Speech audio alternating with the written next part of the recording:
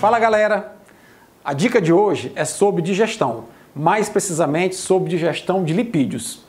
Olha, gente, diariamente a gente tem na dieta a ingestão de proteínas, carboidratos e lipídios.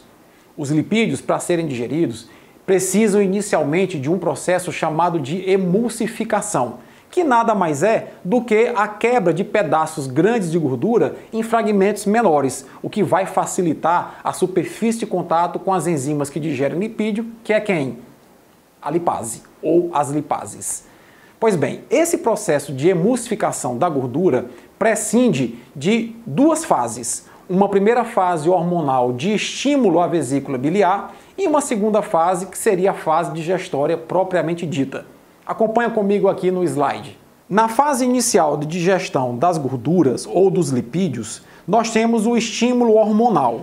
O contato das gorduras nas porções iniciais do intestino faz com que o próprio intestino libere um hormônio. Esse hormônio é chamado colecistocinina. O hormônio colecistocinina vai ter uma atuação na seguinte perspectiva: ele vai estimular as contrações da vesícula biliar, fazendo com que a vesícula biliar libere bile, secrete bile, através do canal colédoco até o intestino. Então, isso mesmo, pessoal, é a colecistocinina que lá produzida no duodeno vai agir lá na vesícula biliar, fazendo a vesícula biliar se contrair e liberar bile pelo duodeno. Aí a bile vai se misturar lá no duodeno com o alimento e vai fazer a emulsão das gorduras. Nós temos então aí a fase inicial do processo de digestão de lipídios, mas não para por aí.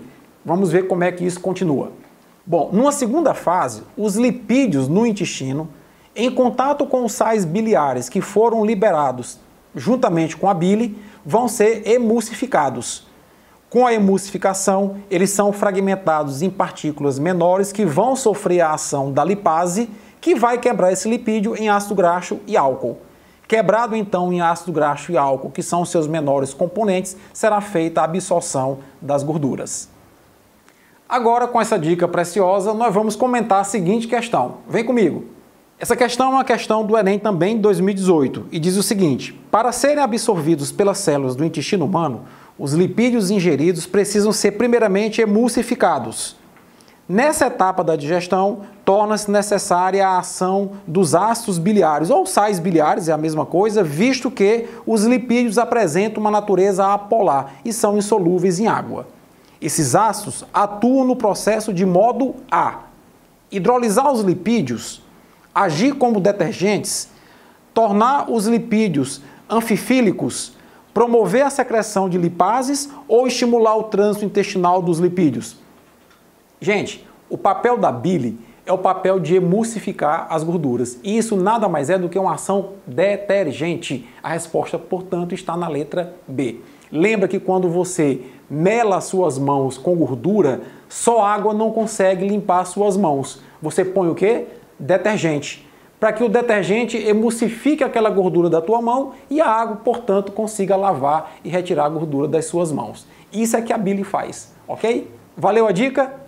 Um abraço e até a próxima.